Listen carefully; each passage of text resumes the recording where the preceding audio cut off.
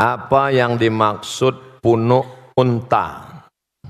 Sebuah hadis yang diutarakan untuk wanita. Punuk unta salah satu sampel contoh. Tapi banyak hadis lain substansi maknanya adalah saya sebutkan satu. Ayat Quran bahkan la yadribna bi arjulihidna janganlah memukul kaki ke lantai dipakai gelang kaki bergemerincing yadribna bi arjulihinna dipukulkan kaki ke lantai waktu jalan. Kerincing kerincing kerincing kerincing kerincing. Satu. Dua. La tabarrujna tabarrujal jahiliyatil ula. Jangan bersolek-solek jahiliyah. Tiga.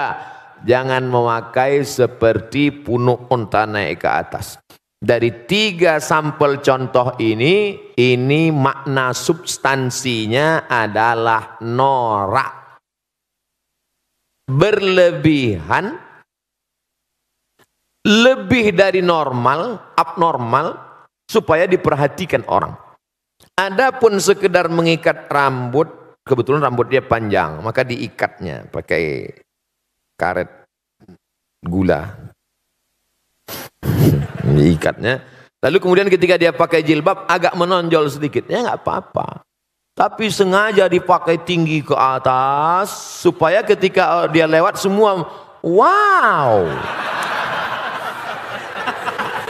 Jadi jangan ditangkap sampelnya, tapi yang diambil adalah substansinya. Karena sekarang banyak orang perempuan tidak seperti punuk onta tapi noraknya lebih daripada punuk onta. Pahami ini dengan baik. Tentang masalah gemerincing di lantai tidak ada lagi. Tentang solek jahiliyah tidak lagi. Tentang punuk onta tidak. Dia selamat dari tiga kasus contoh. Tapi substansi noraknya masih bertahan. Maka hukumnya dia tetap kena. Intinya wajar-wajar saja. Kau diperhatikan orang bukan norakmu, tapi karena prestasimu.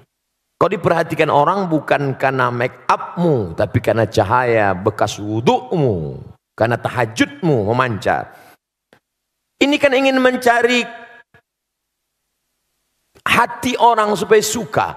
Padahal hati orang itu punya Allah. Kalau Allah sudah menanamkan cinta ke dalam hatimu, maka hati-hati hamba itu pun ikut cinta kepada engkau.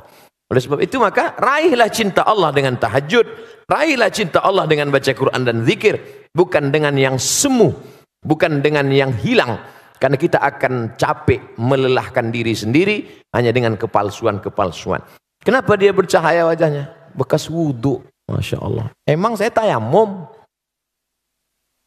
Artinya kita tetap beramal, berdoa, biarlah orang suka karena Allah menanamkan suka itu. Bukan karena dibuat-buat karena sesuatu yang dibuat-buat kita akan lelah capek sendiri. Normal saja apa adanya